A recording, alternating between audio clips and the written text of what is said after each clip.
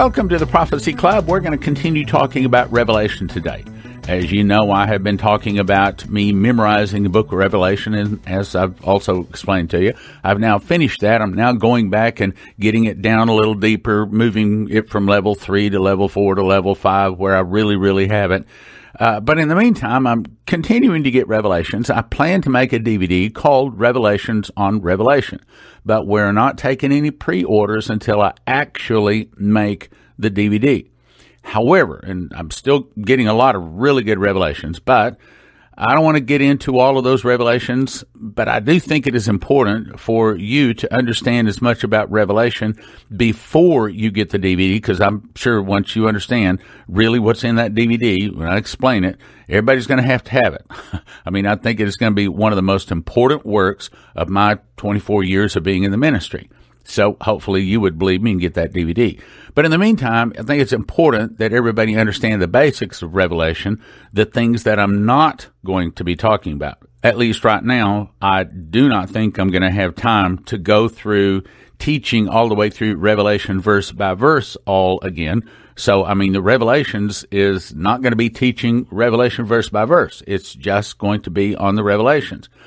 So let me explain to you what I'm about to do.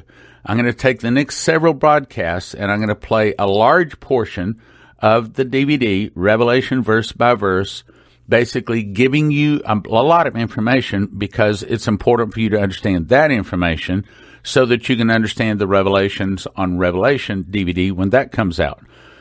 Because, I mean, if I say, well, let, let me tell you who the two witnesses are and I start going into that. And if you aren't familiar with the scriptures already, it's going to be, well, you're going to be playing catch up. Okay. So here's what I'm going to do. The next several broadcasts, I'm going to be playing the audio of the DVD from my DVD, Revelation verse by verse. I think it's very important that, of course, you listen to the broadcast, but even more important that you get the DVD. So we are making probably the best offer on that particular DVD set that we have ever offered. I'm looking up at some of the past offers. We have, uh, first of all, it's eight hours, four DVDs, valued at $120, and in the past we've offered it for a gift of $75. We're going to offer it for an amazing offer today for, for this particular week. First of all, the topics. What is the message of the seven churches? Who are the four horsemen? Is Revelation layered or sequential when it goes through the seals and the trumpets and the vials? Is it 1 through 21? Or is it like a three layered cake where 111 plays about the same time as 222? I answer that. Who are the beasts from the sea, the earth, and the pit? What does is fallen is fallen mean? What does it look like the day Jesus returns? How long is the day of the Lord? Is that a year, a month, one evening, one morning? What is that? Who is the woman who rides the beast? Who's the false prophet? Does the New Jerusalem come down at the end of 6,000 years or at the end of 7,000 years? When do we get our mansions? Are there one or two judgments upon America? When is the door shut to the five virgins? Does everyone who survives Armageddon get a glorified body? Two thirds of mankind is killed in the tribulation, what happens to the other one third? Again, eight hours, four DVDs. Normally, well, it's valued $120. In the past, we've offered it for a gift of 75 but today, this particular week, we're going to be offering it for a gift of just $30. $30, Revelation verse by verse, and Revelation verse by verse. And you can go to prophecyclub.com and order it, or you can call us 785 266 1112.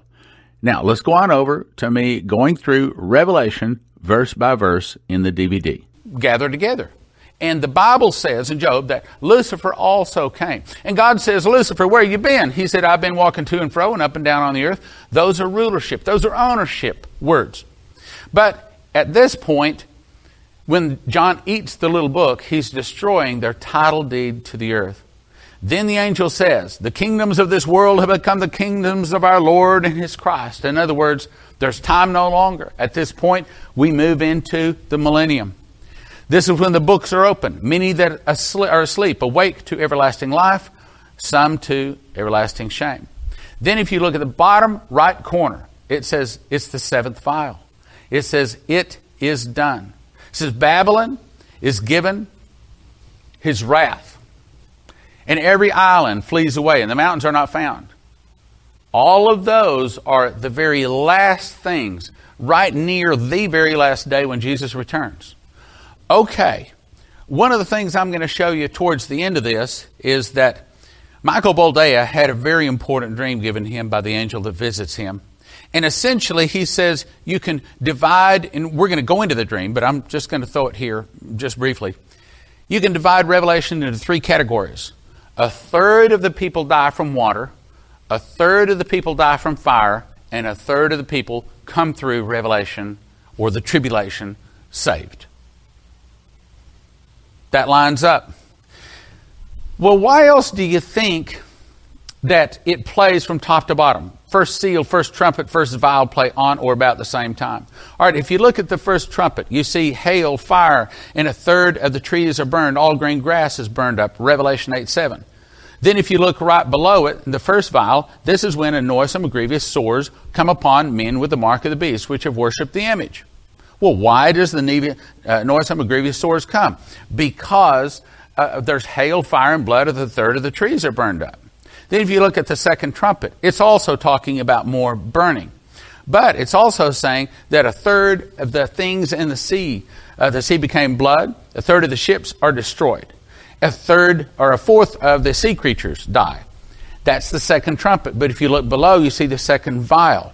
The sea became as the blood of a dead man every living soul in the sea died. So we are seeing there's a fire judgment that has to do with the first and second vial. Excuse me, the first trumpet, first vial.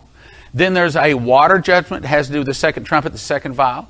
Then if you look at the third trumpet, the star of wormwood falls and poisons a third of the rivers and the fountains. Many die. Right below that, the third vial, the rivers and the mountains became blood. So it's again, it's a water judgment. So, for these various reasons, I believe that it plays top to bottom. Now, the Revelation basically goes through and describes it on different levels 1 through 7, and then the 1 through 7 for the trumpets, and then finally 1 through 7 for the vials. Now, this overlays with Daniel. Daniel gives the one half of the puzzle and Revelation gives the other half of the puzzle. If you want to understand the tribulation, if you want to understand what's coming, you have to know Revelation as well as Daniel. You have to have both sides of the puzzle. Now, so let's take a quick look at the chart I've made of Daniel made easy. The event that starts the tribulation is when the Antichrist confirms the covenant with many for one week. That one week is one Shabuah. That's one seven year period. Somebody called the other day and said, uh, is there a verse that actually says that the tribulation is seven years rather than three and a half years? And I said, yes, and I gave him the verse. Well, the event that starts it, that word, word for week is Shabuah. Now, if I say, uh, go get me a couple of uh, golf balls, you come back with two. If I say, go get me a dozen eggs, you come back with 12. Well, if I say, go get me a Shabuah, you come back with seven. So it says, confirms the covenant with many, I believe that's nations, for one Shabuah, one seven week period. Then across the top, I have first, second, third, fourth, fifth, sixth, seventh. And then there's the 70th week of Daniel, a seven year period of 2,520 days. The first three and a half years, which is also time, times, and the dividing of time. Another way the Bible says it is 1,260 days or 42 months. This is Antichrist's rise to power I was talking about earlier. If you want to know uh, part of that, what the Antichrist does, it's listed right there. Then in the middle of the tribulation is when the Antichrist commits the abomination of desolation. What he wants to do, according to Isaiah 14 12, I believe it is, he wants to sit upon the mount of the congregation. He wants to sit on the sides of the north. He wants to walk in and sit on the Ark of the Covenant. Now, contrary to what you see on some of the internet places, the Ark of the Covenant doesn't have these funky looking birds. It's a throne, it's a chair, it's a golden covered chair with an angel facing this way, facing God, an angel this way, and then the Shekinah glory is in the center. So it's a chair. What the Antichrist wants to do is walk in and sit on the Ark of the Covenant and say, I am God. At that point, he said, Since I'm, I am God, you can stop that animal sacrifice over there. And then he sets up an image, an image to the beast. And that image looks like him. And then they turn on the image making factories all across the nation and they start making idols every place. And that's the reason many of the scriptures say that God judges them because of the idols. So in the middle of the anti or in the middle of the tribulation, that's also when he requires the mark of the beast. Now, this is a big point. I don't believe that the Antichrist requires the mark of the beast at the beginning of the tribulation. I think it is introduced there. Now, we were just talking the other day. The Obamacare is about to come out, and I understand that one of the things in Obamacare is that all people that want to get medical care inside the United States will have to take a chip. Of course, when that comes out and they start requiring people to have a chip in order to get medical care, many of the Christians are going to stand up and they're going to say, Mark of the beast, mark of the beast, mark of the beast. No, I understand. A chip is not the mark of the beast. You will know the mark of the beast by this. The only way you get the mark of the beast is you'll have to get down, just like Daniel said. When Nebuchadnezzar had the dream of the image, and then he came up with another idea to make that image. The first thing he did was set up that image. He called all of the chief, you know, the congressman, the Shirley MacLaine's, he called all of the top people together. And he says, when you hear the sound of the corn of the sackbut psaltery, the dulcimer, and all kinds of music, you fall down and worship the image. If you don't, then we'll throw you into the, the burning fiery furnace. In other words, what the Antichrist wants is worship. What does God want? He wants our worship. What does God want? He wants our heart. So what does the Antichrist want? He wants our heart. And so you'll know the, the mark of the beast, whatever it might look like, whatever form, however, you will know it when they say you have to fall down and give the knee to get it. Not necessarily a chip. Now we're going to talk about that too. I'm going to show you what I personally suspect strongly is the mark of the beast. Now, let's continue with Daniel made easy with the chart. Then, if you look at the top, it says there's 1,260 days for the second half of the tribulation, the seven year tribulation. And there's more there. I'm not going to go through all of it. Time times dividing of time. You'll see 2,300 days the sanctuary is cleansed. That's when uh, Jesus has returned and has cleansed the sanctuary. However, there's, there's 1,260 days to the second half of the tribulation. But the point I want to make here is a lot of people misunderstand. They say, oh, oh, well, no one can know the day or the hour. We don't have to know any of that prophecy stuff. You can't know the day or the hour. And, you know, it's like a sacrilege. If you try to say the name, the, the day or the hour, wait a minute. Uh, did Jesus say we can't know the day or the hour? I believe that Daniel is actually warning us when Jesus is going to return. You see, if we knew when the the covenant was confirmed, then 2,520 days later, boom, Jesus returns. Okay, and then when we see the Antichrist going to sit on the Ark of the Covenant, proclaim himself God, then 1,260 days later, boom, Jesus returns. Well, then, Stan, how can you say we can't know the day or the hour? Here's why. Because on the day Jesus returns, nobody knows the day or the hour. Because by the time Jesus returns, the earth has turned upside down. The sun is out, black as sackcloth of hair, the Bible says. The moon won't give its light. The stars of heaven fall, and with uh, like a fig tree casting forth its untimely figs. The uh, stars fall from heaven as, as uh, the, the stars withdraw their shining, and Every mountain has fallen. Every mount or valley has raised. There's no more sea. I mean, the whole earth is in turmoil. There's a great giant, giant earthquake in Jerusalem, killed 7,000 people alone. So, if the earth is turned, turned upside down and the sun is out, all reckoning of time has been destroyed. I don't think that the Father didn't want us to know certain things for a reason. But I do think we can know the year Jesus will return. You show me the, the confirmation of the covenant, covenant, and I'll tell you the approximate year Jesus is going to return. I think we can know the year. I think we can know the month. We might even get close to knowing the week. But we're probably not going to know the day or the hour because I don't care if we have an electric clock, I don't care if we have a mechanical clock or an atomic clock. When the earth is turned upside down and the sun is out, what day is it? We don't know. See, so that's why we don't know the day or the hour. Now, if you look at the bottom right corner, it says time of Jacob's trouble. The last three and a half years is the time of Jacob's trouble.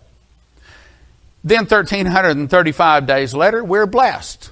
And why are we blessed? Well, I think I can show you that. We're going to move on. Now let's go to the fifth seal. Revelation 6 9. And when he had opened the fifth seal, I saw under the altar the souls of them that were slain for the word of God and for their testimony which they held. Wait a minute, wait a minute. Thought we were raptured out of here. Well, you know, uh, let, let, me speak briefly about the rapture. I've got two DVDs. I've made one called uh, Rapture, um, The Truth About the Rapture, and then I made another one, More Truth About the Rapture. The first one, I go through like 357 different verses show you everything really more than you wanted to know about the rapture, but it will totally answer your question about how the rapture works. And then the second one, I go through and use more like the parable of the tares and the, uh, the sowing of wheat and things like that to explain to you about the parable. But there's a misunderstanding. In the first century, the first century church had a misunderstanding. They were expecting the Messiah to return like a lion but he came as a lamb. He came as a sacrificial lamb to lay his blood down so that people could be saved.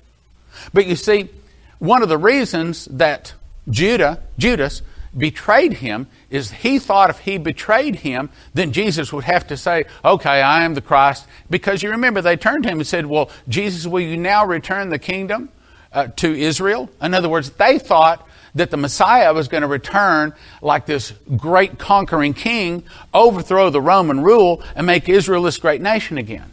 They misunderstood. The first time he wasn't coming like a lion, he was coming like a lamb. And the church today has a misunderstanding. They're expecting Jesus to return in the clouds as a lamb to save them. Woe to those that desire the day of the Lord is not a day of light, but darkness and clouds and thick darkness and gloominess. In other words, Jesus is not returning to save anybody. He's returning to burn up his enemies. He will brandish with his sword, with the breath of his nostrils. He will blow that glory down on the earth and he will burn up all of his enemies. And how long does it take for the glory to go around the earth? How long does it take for His glory to cover the earth like waters cover the sea? In a moment. In the twinkling of an eye at the last trump. And that's what we're talking about. So when it says, uh, when I opened the fifth seal, I saw under the altar the souls of them were slain for the word of God and for the testimony which they held. Oh no, no. You mean I might have to die for Jesus? no. Maybe what we need to be saying, Lord, you died for me. Here am I. I'm willing to die for you. After all, we get the highest crown. I believe if He selected us to die for Him, He'll take care of us. So, yeah, there are some that are slain for the Word of God and for the testimony which they held. And they cried with a loud voice. Now look at this. This is important, saying, How long, O Lord, holy and true, dost thou not judge and avenge our blood on them that dwell upon the earth? Here, this is so interesting. And white robes were given to them, every one of them, and it was said to them that they should rest a little season until, look at this, look at this, until their fellow servants also, and their brethren that should be killed, as they were, should be fulfilled. Wait a minute, Stan. You mean the Bible is saying that from the very foundations of the earth, some were selected to give their life for Christ? Uh, well, that's what the Bible says. In other words, I don't think we Christians ought to be looking for an escape.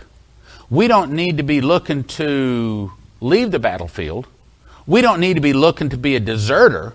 We need to be looking to get into the fight. We need to be looking to be salt and light we need to be looking to pick up the sword of the Lord, the, the Word of God, and go to fight. Now let's look at the sixth seal. We're in Revelation 6. Revelation 6:12 and I beheld and when he opened the sixth seal and lo there was a great earthquake and the moon became black as sack, excuse me and the sun became black as sackcloth of hair and the moon became as blood.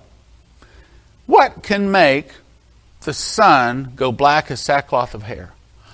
I believe the sun literally goes out. If you look at Ezekiel 30 verse 26 it says the sun gets seven times hotter.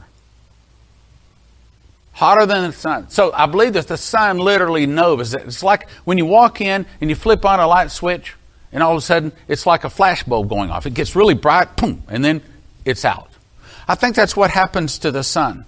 The sun gets really, really bright, seven times hotter, and then boom, it goes out. And when the sun goes out, then of course, since the moon gets its light from the sun, the moon goes black. Revelation 6:13, and the stars of heaven fell unto the earth, even as a fig tree casteth her untimely figs when she is shaken of a mighty wind. How can you make the stars, now think about this. How can you make the stars of heaven fall unto the earth, even as a fig tree casting her untimely figs? Okay, now here Stan's theory on this. I think that there is another mystery planet out there. I've done a whole 30 minute TV program on this. It makes sense to me. What if there's another planet that has like a 3,600 year orbit, and the last time it orbited by the Earth was what caused the flood? So, this big planet, way out there with this elliptical orbit, let's say it's way out in deep dark space. And let's say it's a black planet, it's not on fire or anything. And what if it had a greater magnetic pull, like a giant magnet, and it's heading toward the Earth. That would start to make some of the, the orbits of the planets begin to change. And did you know that there are astronomers that are reporting that some of our planets have been making orbital changes? And then as it gets closer, it begins to cause many changes in Earth from this giant magnet heading this direction. And as it gets closer, it begins to make the earth, that is, say, normally like this, begin to turn a little bit more like this. And then, what if all of a sudden the earth were to turn upside down? Isaiah 24, verses 1 and 19 said, The earth turneth upside down and scattereth abroad the inhabitants thereof. That makes sense. What other changes might we see? Well, we might see earthquakes increasing. Are we seeing earthquakes increase? Yes? We might see dormant volcanoes beginning to wake up.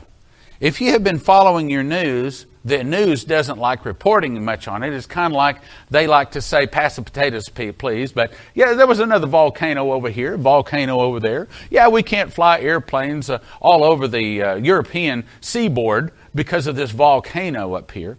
There's been all kinds of volcanoes. What makes sense to me is that there is a planet out there, and as it's getting closer, that change in the gravitational pull is already changing us. Now, what if the tribulation were 10 years away, or 20, or 30 years away? There might be a planet out there already getting close enough to make changes on the earth. Verse 14. Let me back up. Read verse 13 again. And the stars of heaven fell unto the earth, even as a fig tree casteth her untimely figs when she is shaken of a mighty wind. And the heaven departed as a scroll when it is rolled together, and every mountain and island were moved out of the places. Now, brothers and sisters, this has to do with the day Jesus returns. I talked about, okay? Every island.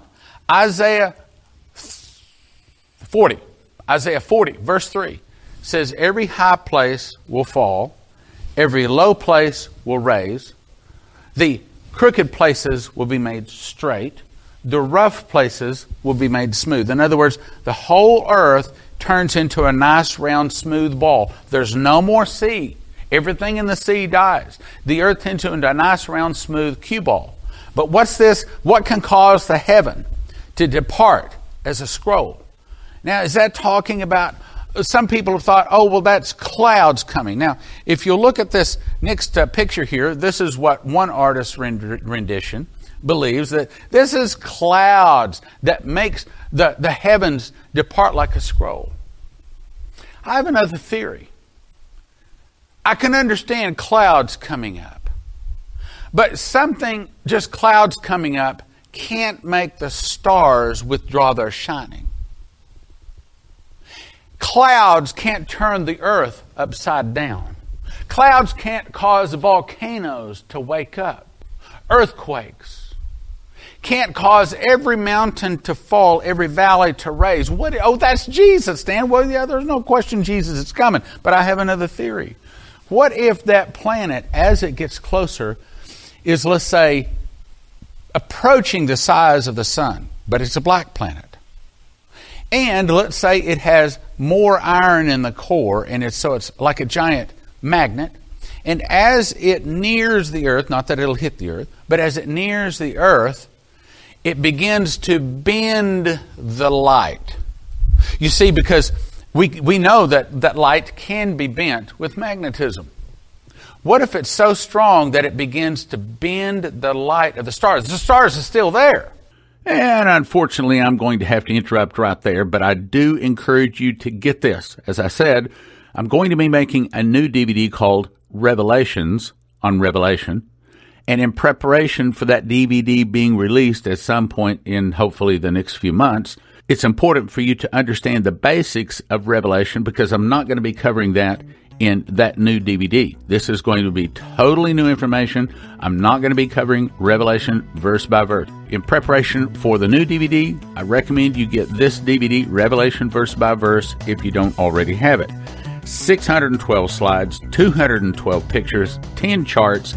You will thoroughly understand Revelation in preparation for the next one on Revelations.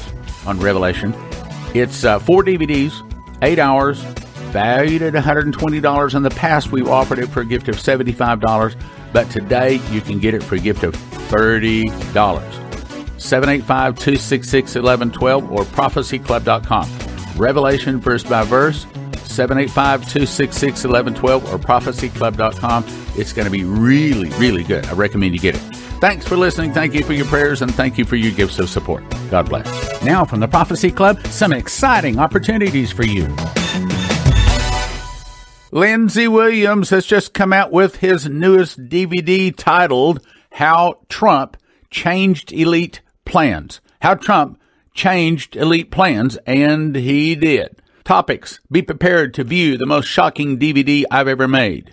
Nothing like this has happened in 6,000 years. Something catastrophic is beginning to develop. It will change your life forever and the life of your children and grandchildren.